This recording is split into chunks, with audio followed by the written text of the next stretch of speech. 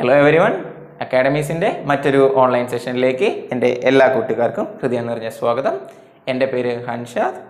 ഇന്നത്തെ ക്ലാസ്സിൽ നമ്മൾ ഡിസ്കസ് ചെയ്യാൻ പോകുന്നത് എങ്ങനെ ഒരു ഫോർമുലയുടെയും സഹായം ഇല്ലാതെ വെറും ലോജിക്ക് മാത്രം വെച്ച് സിമ്പിൾ ഇൻട്രസ്റ്റിന്റെ പ്രോബ്ലംസ് നമുക്ക് സോൾവ് ചെയ്യാൻ പറ്റും. എല്ലാ പ്രോബ്ലംസും എല്ലാ പ്രോബ്ലംസും എങ്ങനെ നമുക്ക് വെറും ലോജിക്ക് മാത്രം വെച്ച് സോൾവ് ചെയ്യാൻ പറ്റും എന്നുള്ളതാണ് നമ്മൾ ഇന്നത്തെ ക്ലാസ്സിൽ ഡിസ്കസ് ചെയ്യാൻ പോകുന്നത്.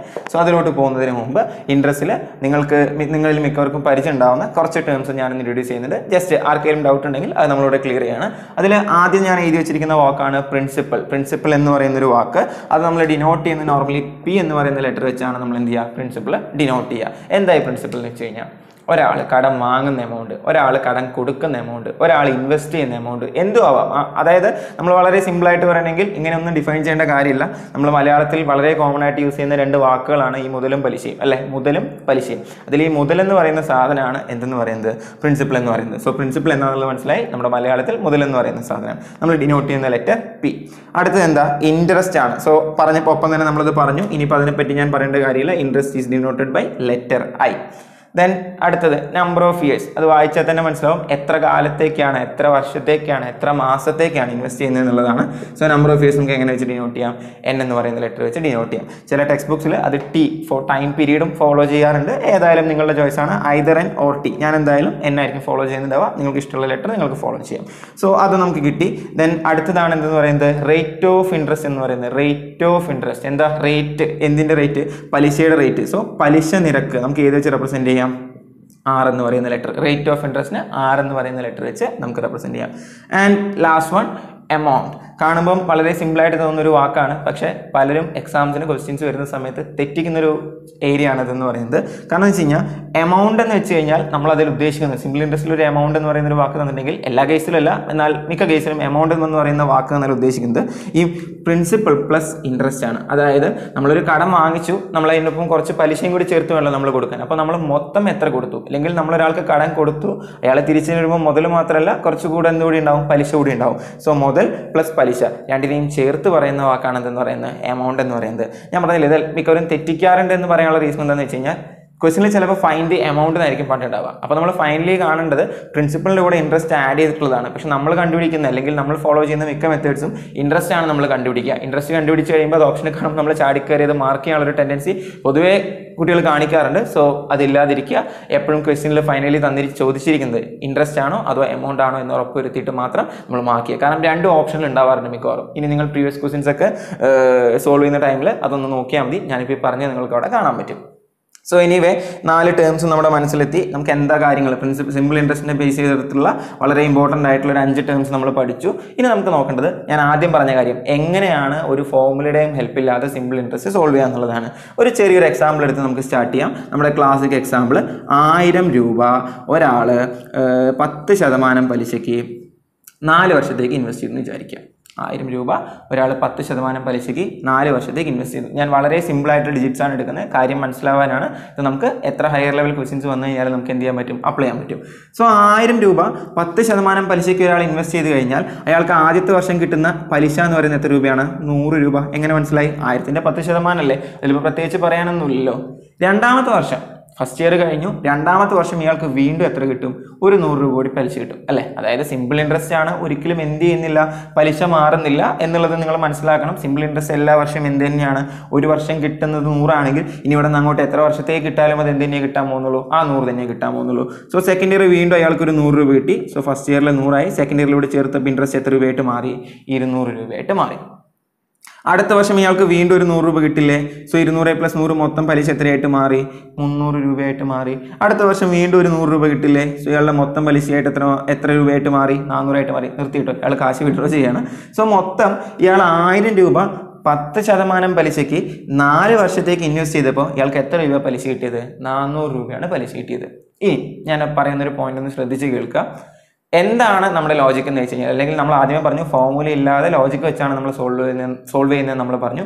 എന്താ നമ്മുടെ ലോജിക് എന്ന് വെച്ച് കഴിഞ്ഞാൽ ഇത്രയും നിങ്ങൾ ആലോചിക്കേണ്ടുള്ളൂ നമ്മൾ ഇൻവെസ്റ്റ് ചെയ്യുന്ന എമൗണ്ടിന്റെ എത്ര പേഴ്സന്റേജ് ആണ് നമുക്ക് പലിശയായിട്ട് റിട്ടേൺ വരുന്നത് എന്നുള്ളതാണ് നിങ്ങൾ ആലോചിക്കേണ്ടത്. ഐ റിപ്പീറ്റ് നമ്മൾ ഇൻവെസ്റ്റ് ചെയ്യുന്ന എമൗണ്ടിന്റെ എത്ര പേഴ്സന്റേജ് ആണ് നമുക്ക് പലിശയായിട്ട് റിട്ടേൺ വരുന്നത്? അല്ലെങ്കിൽ പലിശയായിട്ട് നമ്മൾ കൊടുക്കേണ്ടത് എനിവേ എങ്ങനെയാണ് അത് കാൽക്കുലേറ്റ് ചെയ്യേണ്ടത് എന്നുള്ളത് നമ്മൾ ഉദ്ദേശിച്ചുള്ളൂ.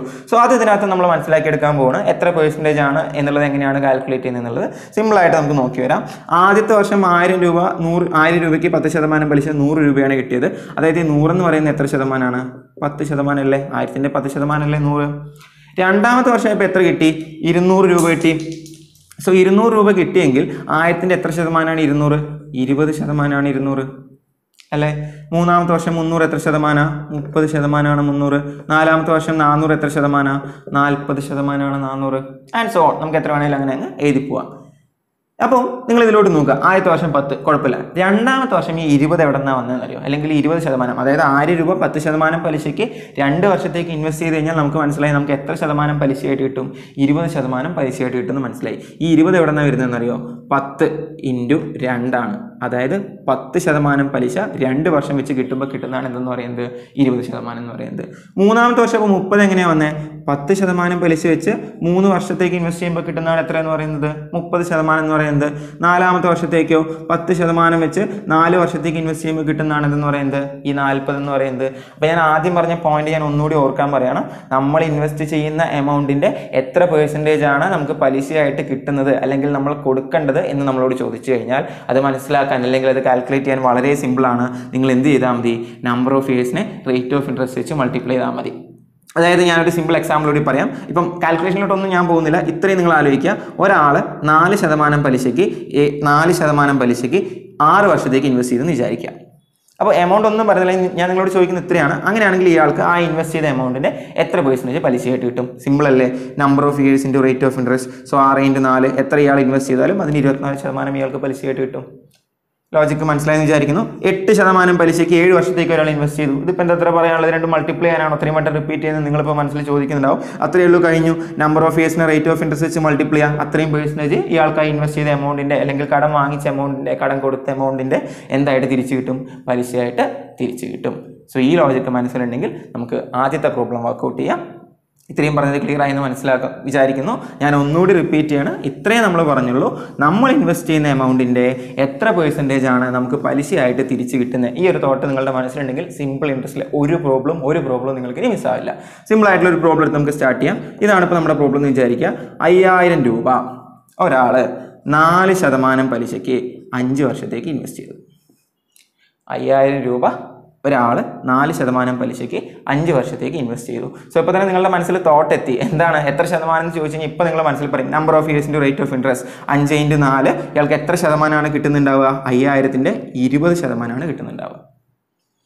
അല്ലേ? അയ്യായിരത്തിന്റെ പത്ത് ശതമാനം എത്രയാ? അഞ്ഞൂറ് വരും. സോ ഇരുപത് ശതമാനം എന്ന് പറയുമ്പോൾ ഇരു അയ്യായിരത്തിന്റെ അയ്യായിരത്തിന്റെ ഇരുപത് ശതമാനം എന്ന് പറയുമ്പോൾ എത്ര വരും? ആയിരം രൂപ വരും. അതായത് ഇയാൾക്ക് എത്ര രൂപ പലിശയായിട്ട് കിട്ടും? ഈ അഞ്ച് വർഷം കഴിയുന്ന സമയത്ത് ഇയാൾക്ക് ആയിരം രൂപ പലിശയായിട്ട് കിട്ടും. എങ്ങനെ മനസ്സിലായി? നാല് പേഴ്സന്റേജ് വെച്ച് അഞ്ച് വർഷത്തേക്ക്. സോ മൊത്തം ഇയാൾക്ക് ഇരുപത് ശതമാനമാണ് കിട്ടേണ്ടത്. ആ ഇരുപത് ശതമാനം നമ്മൾ എന്ത് ചെയ്തു? ജസ്റ്റ് കാൽക്കുലേറ്റ് ചെയ്തു. അയ്യായിരം ഇന്റു ഇരുപത് ബൈ നൂറ്. ദേ പോയി ദേ പോയി. ഇതും സോറി അത് രണ്ടേ പോകുന്നുള്ളൂ. അമ്പത് ഇന്റു രണ്ട് അമ്പത് ഇന്റു ഇരുപത് നമുക്ക് എത്ര കിട്ടും? ആയിരം രൂപ നമുക്ക് പലിശ എന്നുള്ളത് കിട്ടി. അപ്പോൾ എന്ത് ചെയ്താൽ മതി? നമ്പർ ഓഫ് ഇയേഴ്സിനെ ജസ്റ്റ് റേറ്റ് ഓഫ് ഇൻട്രസ്റ്റ് വെച്ച് മൾട്ടിപ്ലൈ ചെയ്തിട്ട് അത് ചുമ്മാ അതങ്ങ് മൾട്ടിപ്ലൈ ചെയ്ത് അത്രയും പേഴ്സന്റേജ് കണ്ടു കഴിഞ്ഞാൽ നമുക്ക് എന്ത് കിട്ടും? ഈസി ആയിട്ട് നമ്മുടെ ആൻസർ കിട്ടും. സോ സ്വാഭാവികമായിട്ട് ഇപ്പോൾ നിങ്ങൾ മനസ്സിൽ വിചാരിക്കുന്നുണ്ടാവും ഇത് തന്നെയല്ലേ ഞങ്ങളുടെ ഫോർമുല വെച്ചും ചെയ്യുന്നെങ്കിൽ ഞങ്ങൾ ചെയ്യാറ്? ഇതിലിപ്പോൾ എന്താ അത്ര വലിയ കാര്യമായിട്ടുള്ളത് എന്ന് നിങ്ങൾ വിചാരിക്കുന്നുണ്ടാവും. അങ്ങനെയുള്ളവർക്ക് ഞാൻ ഒരു ക്വസ്റ്റ്യൻ കൂടി തരാം. അപ്പോഴാണ് ഈ മെത്തേഡിന്റെ അല്ലെങ്കിൽ ഇങ്ങനെ ചെയ്യുന്നതിന്റെ ആപ്ലിക്കേഷൻ എന്താണെന്നുള്ളത് നിങ്ങൾക്ക് മനസ്സിലാവുള്ളൂ. ഇത്തരം ക്വസ്റ്റ്യൻസ് ഒന്നും ഇപ്പോൾ ചോദിക്കുന്നില്ല. നിങ്ങൾക്ക് തന്നെ അറിയാലോ ഏത് ആർക്കും ഒരു ഫോർമുലയിൽ പി എം എന്നും ആറൊക്കെ ഇട്ട് കൊടുത്തു കഴിഞ്ഞാൽ കണ്ടുപിടിക്കാവുന്ന പ്രോബ്ലംസ് ആണ്. ഇപ്പോൾ ഇതൊക്കെ എന്ന് പറയുന്നത്. ഇതല്ലാതെ ഒന്ന് കോംപ്ലിക്കേറ്റഡ് ആക്കുകയാണ്. ഞാനിപ്പം നമുക്ക് ഈ പ്രോബ്ലം ഒന്ന് ഞാൻ എഡിറ്റ് ചെയ്യുന്നുണ്ട്. അതായത് ഇങ്ങനെയാണെന്ന് വിചാരിക്കുക. അയ്യായിരം രൂപ മൂന്ന് ശതമാനം പലിശയ്ക്ക് അഞ്ച് വർഷത്തേക്ക് ഒരാൾ ഇൻവെസ്റ്റ് ചെയ്തു. ക്വസ്റ്റൻ ഇങ്ങനെയാണ്. അയ്യായിരം രൂപ മൂന്ന് ശതമാനം പലിശയ്ക്ക് അഞ്ച് വർഷത്തേക്ക് ഒരാൾ ഇൻവെസ്റ്റ് ചെയ്തു. വേറൊരാൾ ഇതേ അയ്യായിരം രൂപ നാല് ശതമാനം പലിശയ്ക്ക് നാല് വർഷത്തേക്ക് ഇൻവെസ്റ്റ് ചെയ്തു.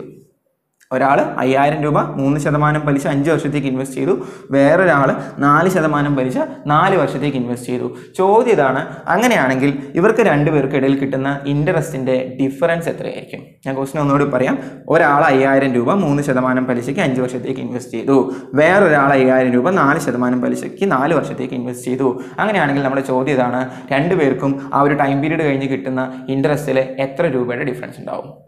സോ നോർമലി ഫോമുല ഫോമുല നമ്മൾ ഡിസ്കസ് ചെയ്തിട്ടേ ഇല്ല എന്ന് എനിക്കറിയാം. ഫോമുല വെച്ച് ചെയ്യുന്നവർ ആദ്യം ഇതിന്റെ ഇൻട്രസ്റ്റ് കാൽക്കുലേറ്റ് ചെയ്യും. ദെൻ ഇതിന്റെ ഇൻട്രസ്റ്റ് കാൽക്കുലേറ്റ് ചെയ്യും. എന്നിട്ട് അത് രണ്ടും കൂടി സബ്ട്രാക്ട് ചെയ്യും. എന്നിട്ട് വർക്കൗട്ട് ചെയ്യും. അല്ല ഞാൻ ആ സ്റ്റെപ്സിലോട്ട് പോകുന്നില്ല. ഞാൻ അത്രയും ലെങ്തി സ്റ്റെപ്സ് ആണ്. നമുക്ക് അറിയേണ്ട കാര്യമില്ല. അതല്ലാതെ ഇപ്പം നമ്മൾ ഈ പഠിച്ച കൺസെപ്റ്റ് വെച്ച് നമുക്കിവിടെ സിമ്പിളായിട്ട് ഇത് വർക്കൗട്ട് ചെയ്യാം. എങ്ങനെയാണെന്നറിയോ? നമുക്ക് നമ്മുടെ ലോജിക്ക് എന്താ?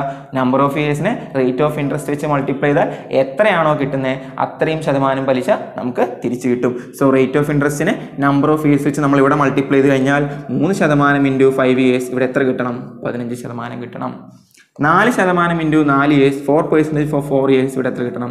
സിക്സ്റ്റീൻ പെർസെന്റേജ് കിട്ടണം. നമ്മളോട് കാണാൻ പറഞ്ഞ എന്തായിരുന്നു? ഇതിന്റെ രണ്ടിന്റെയും ഡിഫറൻസ് നമ്മളോട് കാണാൻ പറഞ്ഞ എന്തായിരുന്നു? ഇതിന്റെ രണ്ടിന്റെയും ഡിഫറൻസ് ഇതിന്റെ രണ്ടിന്റെയും ഡിഫറൻസ് എത്രയാ? വൺ പേഴ്സന്റേജ് എന്തിന്റെ വൺ പേഴ്സന്റേജ് അയ്യായിരത്തിന്റെ വൺ പേഴ്സന്റേജ് എത്രയുണ്ട് കാണാനായിട്ട്? നമുക്ക് എത്രയാണെന്നുള്ളത് കിട്ടി?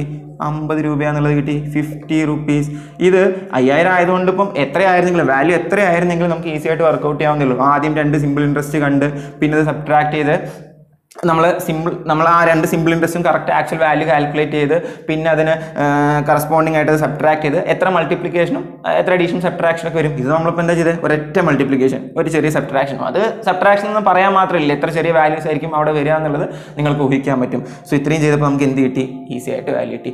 ഇതുപോലെ ഏത് ക്വസ്റ്റ്യൻ വന്നാലും നമുക്ക് എന്ത് ചെയ്യാൻ പറ്റും? സിമ്പിൾ ഇൻട്രസ്റ്റ് പ്രോബ്ലംസ് വർക്കൗട്ട് ചെയ്യാൻ പറ്റും. അപ്പോൾ മനസ്സിലാലോചിക്കേണ്ട കീ എന്താണെന്ന് പറഞ്ഞാൽ നമ്മൾ ഇൻവെസ്റ്റ് ചെയ്ത എമൗണ്ടിന്റെ എത്ര പെർസെന്റേജ് ആണ് നമുക്ക് പലിശയായിട്ട് തിരിച്ചു കിട്ടുന്നത് നിങ്ങളുടെ മനസ്സിലുണ്ടെങ്കിൽ അല്ലെങ്കിൽ അത് ആ ലോജിക്ക് നിങ്ങളുടെ മനസ്സിലുണ്ടെങ്കിൽ അത് കണ്ടുപിടിക്കാനായിട്ട് ഞാൻ ചെയ്യേണ്ടത് നമ്പർ ഓഫ് ഇയേഴ്സിനെ റേറ്റ് ഓഫ് ഇൻട്രസ്റ്റ് വെച്ച് മൾട്ടിപ്ലൈ ചെയ്യാന്നുള്ള ലോജിക്ക് നിങ്ങളുടെ മനസ്സിലുണ്ടെങ്കിൽ ഞാൻ ഗ്യാരണ്ടി തരാം. സിമ്പിൾ ഇൻട്രസ്റ്റിൽ ഒരു പ്രോബ്ലം ഇനി നിങ്ങൾക്ക് എന്താവില്ല മിസ്സാവില്ല സോ നിങ്ങൾക്ക് വർക്കൗട്ട് ചെയ്യാനായിട്ട് ഞാനൊരു പ്രോബ്ലം കൂടെ പ്രൊവൈഡ് ചെയ്യാം. ഓൾമോസ്റ്റ് ഒരു സെയിം മോഡൽ അതൊന്ന് വർക്കൗട്ട് ചെയ്യുക. ഈ പറഞ്ഞതിൽ ഇത്രയും കാര്യങ്ങളിൽ എന്തെങ്കിലും ഡൗട്ട്സ് ഉണ്ടെങ്കിൽ താഴത്തെ കമന്റ് സെക്ഷനിൽ പ്രൊവൈഡ് ചെയ്യുക. ഞാൻ എത്രയും പെട്ടെന്ന് ക്ലിയർ ചെയ്ത് തരാം. ഏതെങ്കിലും പ്രോബ്ലംസ് നിങ്ങൾക്ക് ടഫ് ആയിട്ടുണ്ടെങ്കിൽ സിമ്പിൾ ഇൻട്രസ്റ്റിനെ ബേസ് ചെയ്ത് അതൊന്ന് സോൾവ് ചെയ്യാൻ പറ്റുമെന്ന് സോൾവ് ചെയ്യാൻ വേണ്ടിയിട്ട് നിങ്ങൾക്ക് താല്പര്യം ഉണ്ടെങ്കിൽ അത് നിങ്ങൾക്ക് കമന്റ് സെക്ഷനിൽ പോസ്റ്റ് ചെയ്യാം. അതും ഞാൻ എത്രയും പെട്ടെന്ന് സോൾവ് ചെയ്ത് തരാം. സോ പറഞ്ഞ കാര്യങ്ങളെല്ലാം മനസ്സിലായി എന്ന് വിചാരിക്കുന്നു. Thank you for watching academies have a nice day